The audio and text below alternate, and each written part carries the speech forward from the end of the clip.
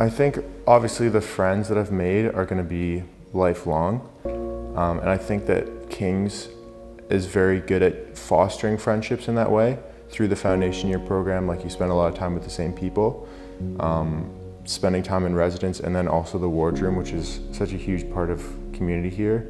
Um, all those things together create like a really, uh, really special friendships. I think King's is a place that you can really learn and you can really explore different things. Not only was I in choirs, um, two of them this year, I also had the opportunity to participate in a KTS production, so a theatrical production. I had the opportunity to make posters for people.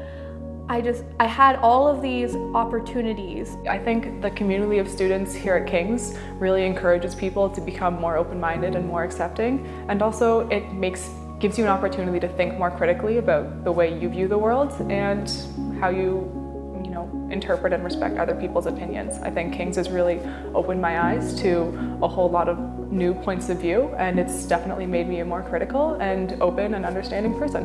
What was really interesting was seeing how accessible uh, these professors made themselves just to like if we ever had a question um, that we wanted to inquire further on or needed that kind of support academically, um, I found it, it was really an accessible environment to really make those connections and have those conversations. Um, even if you didn't have a professor for a class, um, they were really willing to make the time, uh, which I thought was beautiful.